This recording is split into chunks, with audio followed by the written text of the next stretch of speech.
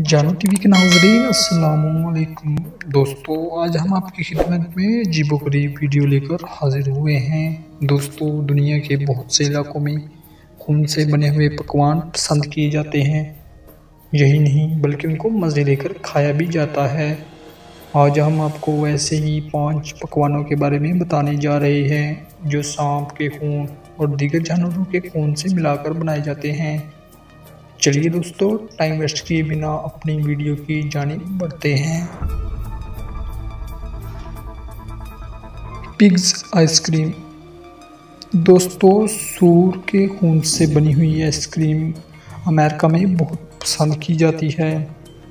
सूर का खून आइसक्रीम में अंडे की जगह इस्तेमाल किया जाता है।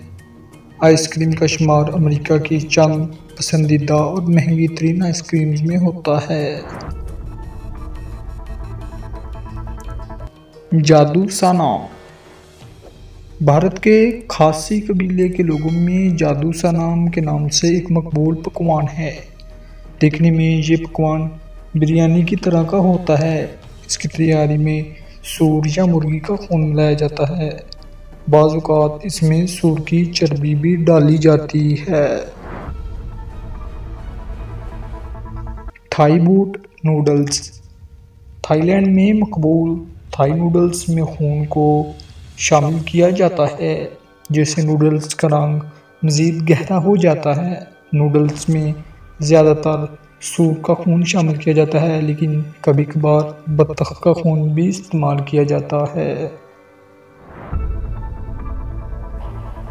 Blood platter.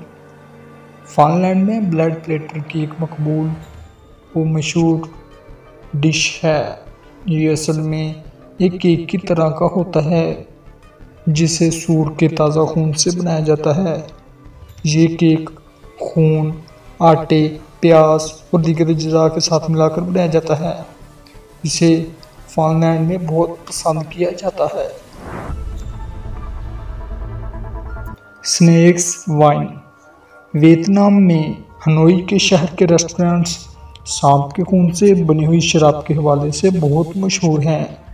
इन रेस्टोरेंट्स में सार्फिन, सांप का गोश्त खाने के साथ साथ सांप के खून से बनी हुई शराब पीते हैं। ये शराब गरम गरम ही पी जाती है।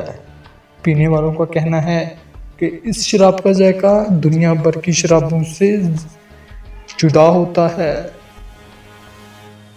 तो दोस्तों, उम्मीद है आज की अजीबोगरी वीडियो आपको ज़रूर पसंद आई होगी। दोस्तों, हमारा चैनल सब्सक्राइब कीजिए, वीडियो को दोस्तों के साथ शेयर कीजिए और वीडियो को लाइक कीजिए। मिलते हैं अपनी नेक्स्ट वीडियो में, तब तक के लिए अल्लाह निगेबान